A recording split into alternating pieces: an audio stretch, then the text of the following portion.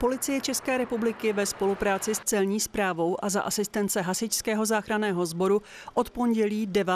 března všem osobám překračujícím hranice rozdává informační letáky v češtině, angličtině, němčině a italštině a provádí namátkové kontroly. Na jihu Čech se toto opatření týká hraničního přechodu Dolní dvořiště. Opatření krizového štábu České republiky navazuje na předchozí opatření ministerstva zdravotnictví o karanténě osob, které se vracejí z pobytu z Itálie. Všichni dotčení tímto opatřením mají bezprostředně po návratu do České republiky povinnost telefonicky kontaktovat lékaře. Ten jim nařídí karanténu v délce 14 dnů. 7. března přilákal do Hořic na Šumavě milovníky knih knižní bleší trh.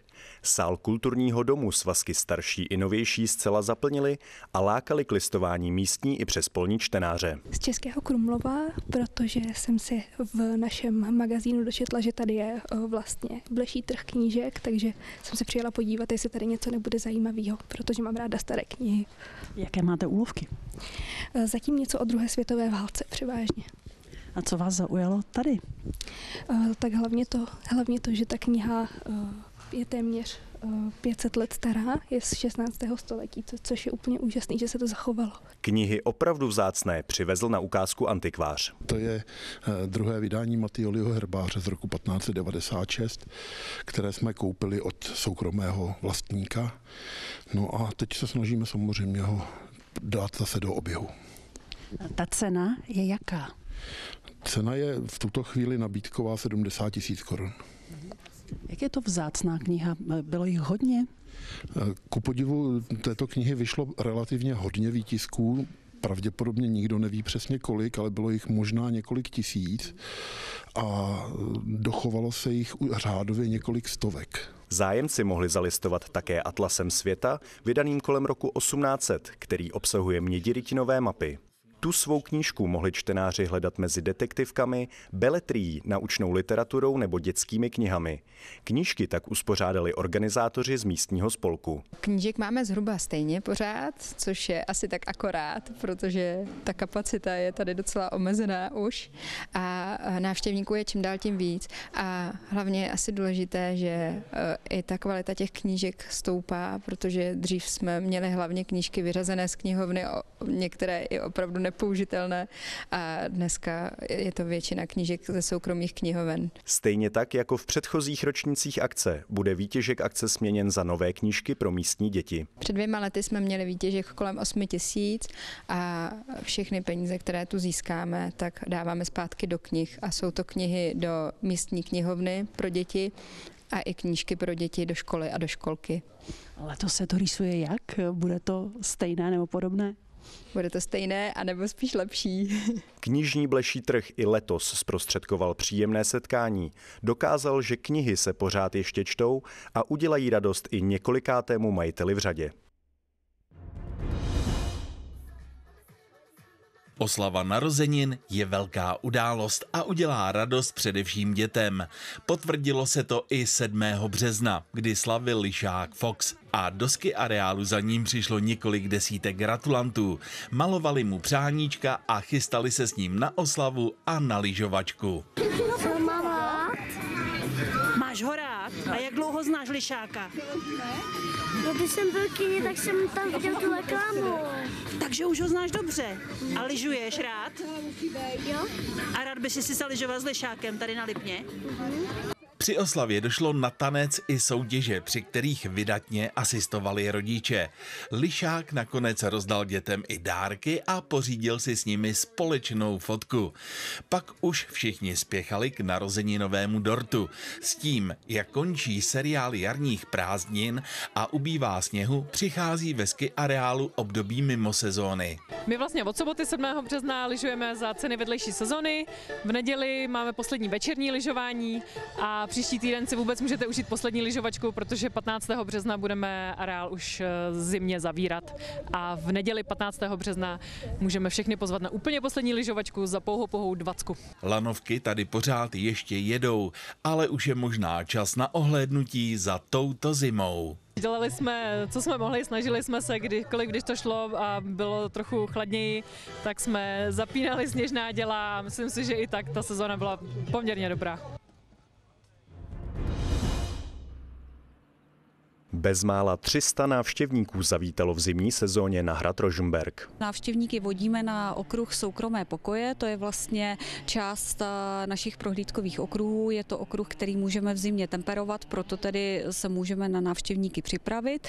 A jsou to pokoje ve druhém patře hradu a jejich součástí je pak i výstup na anglickou věž. Základní návštěvnický okruh s prohlídkou reprezentačních místností někdejšího muzea rodu Bukvojů, který se otevírá v hlavní sezóně, začíná schodišťovou halou. Tady ale právě vládnou restaurátoři. Jednak provádíme opravu eh, schodiště z poloviny 19. století, kde vyměňujeme část nosné konstrukce. Ta podlehla eh, během vlhkosti hnilobě a dále jsme eh, rozjeli akci, kdy obnovujeme výmalbu a inspirujeme se z akvarelů Rudolfa von Alta také z poloviny 19. století. Restaurátor nejprve musel najít pro výmalbu správné odstíny pomocí sond. Teď musí pečlivě rozvrhnout každý obrazec. Tady se stává to, že každá ta rampa je jinak velká a já musím vlastně ten ornament, který tady najdu na těch obrázcích, tak ho musím upravit na velikost té rampy. A ještě ten, ta složitost spočívá trochu v tom, že vlastně to, co máme na těch obrázcích od toho Rudolfa Alta, tak ono se to malinko změnilo, takže tvarově se změnily, takže já nemůžu přímo vycházet z toho obrázku, musím skoro na každou tu rampu, na ten podhled té rampy to upravovat ten obrázek. Práce by měly brzy skončit a vstupní schodišťová hala se ukáže v plné kráse. Tu už návštěvníci uvidí vlastně o tom prvním víkendu, kdy nám začíná ta hlavní část sezóny a letos tady to zahájení vychází na poslední březnový víkend. Děti z Českobudějovického centra Arpida, které se specializuje na rehabilitaci a vzdělávání zdravotně postižených, si přijeli zaližovat na Lipno. Pro mnoho z nich to bude první pokus o zimní sportování. Premiéra byla minulý rok, kdy jsme to tak nějak zkoušeli. Byli jsme s malou skupinkou, letos jsme děti prostřídali. Máme tu celkem 13 dětí, k tomu je asi 8 dospělých. Děti jsou opravdu i různého věku, i různých schopností. Většina z nich nemá zkušenost s lyžováním, takže máme část dětí tady na Fox Parku, kde to zkouší prvně třeba na lyžích. Eh, pokud se nějakým způsobem to natrénujou, tak potom s instruktorem jedou i tady sjezdovku. A část teda dětí, eh, dva, dvě děti teďka jezdí na ty velký sjezdovce s instruktorem, ty jsou už tak jako zběhlí a tři máme na monosky. Mnoho dětí bude zkoušet lyže vůbec poprvé. Ty jsi tady na Lipně poprvé? Já. Jak se ti tady zatím líbí? Dobře. A vyzkoušíš taky lyžování? Já. Máš ráda sníh? Já mám. Jiní už pohyb na svazích zažili a mají zkušenosti s jízdou na monosky. Líbil se mi tady sníh a teď si zkusím zaležovávat. A byl jsi třeba loni v bazénu taky se podívat tady? V bazénu nebyl. Tak to letos zkusíš taky? Jo. Děti z Arpidy stráví pobytem na Lipně tři dny. Každopádně dostanou se někam, kde by se třeba nedostali s rodičema, vyzkoušejí si věci, které si nemohli vyzkoušet a e, určitě je to prima, že je to taková partička, která prostě odjede.